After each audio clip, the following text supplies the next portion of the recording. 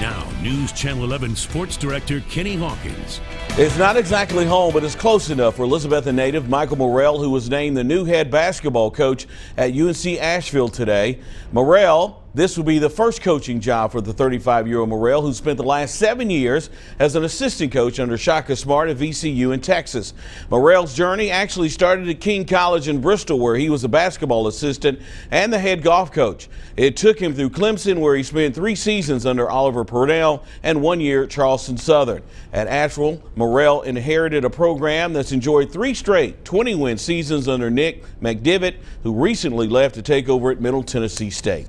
So